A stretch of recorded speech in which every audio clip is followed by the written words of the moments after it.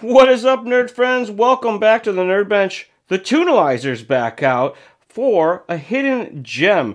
This one came up actually through an email that we got into the podcast that we want to make a video for to make it real easy to understand. We've got lots of good videos on what the Tunalyzer does, but at a, at a glance, it's a motor analyzer.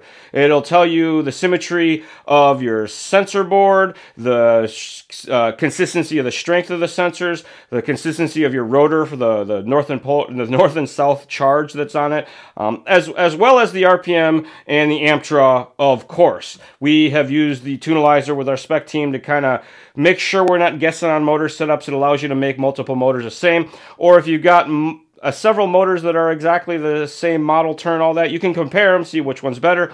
And we even, even use this to help with modified motor tuning, oddly enough. But if you're using modified motors, do the, the one cell test voltage just to make sure. It helps the RPM stay in check. What we're going to talk about today is the Tunalyzer's bench test usability. Not only does it have an OTA programmer built into it, that's right, if you didn't know, it has the Bluetooth built in so you can do speed control tuning and updates with your Tunalyzer. It also has a throttle output feature. And what that does is makes it into basically a real simplified, I don't want to say servo tester because that's not the right idea, but it mimics your throttle output with this knob. You'll get neutral, full throttle, full reverse. So I want to show everybody how that works. The main thing is, is while you're doing this, the engineering department told me you don't want to put power in through this side because you're going to have power coming into this guy. So the way that I power my Tunalyzer for this is I use a USB cable. There's a USB-C port on the side, and you can get any kind of normal USB, and that'll power that guy on.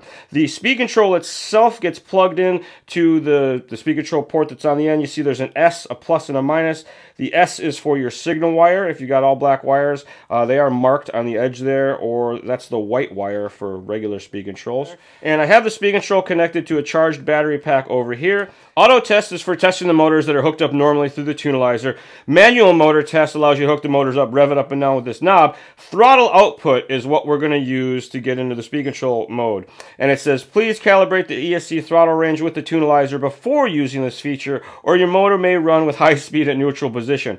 Basically, it's warning you that if you hook your speed control up here without doing the calibration first, it's going to start running the motor, and that's not something none of us really want.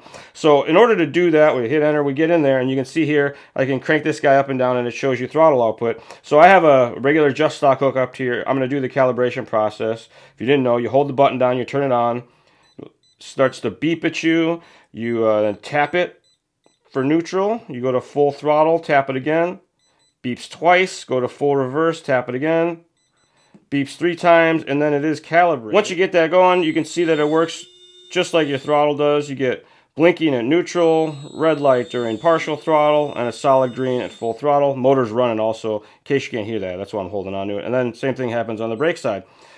So, that can be helpful when you don't have access to your transmitter or maybe you don't feel like going and get it out of the case or whatever, but your Tunalyzer is handy. Uh, just another one of the cool features that the Tunalyzer has to offer to pack some more value in there. I know this guy's a little, little pricey, but with all the things that it does, kind of worth it. Do you like podcasts? We do a podcast. Look up RC Stuff powered by Hobbywing on your favorite podcast service, or you can get it straight from the source, anchor.fm slash hobbywing. We give away free RC stuff each and every episode. All you have to do to find out how to enter to win is listen to an episode. If you do have any questions, comments, or concerns, feel free to shoot us an email, northamerica at hobbywing.com. And as always, folks, thanks for watching. It's The Charlie Show right here on the Hobbywing official YouTube channel. See you next time.